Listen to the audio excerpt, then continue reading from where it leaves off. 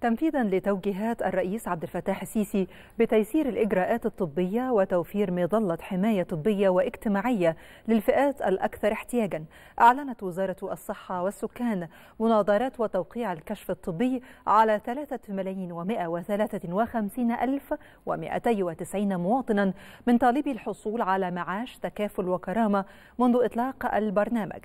وأكدت وزارة الصحة على خطتها لرفع وتحسين كفاءة الخدمات الطبية المقدمة للمواطنين خاصة طالبي الحصول على معاش تكافل وكرامة حيث تم ربط موقع تسجيل إلكترونيا بين وزارتي الصحة والتضامن الاجتماعي بحيث تظهر بيانات طالبي توقيع الكشف الطبي بصفة يومية.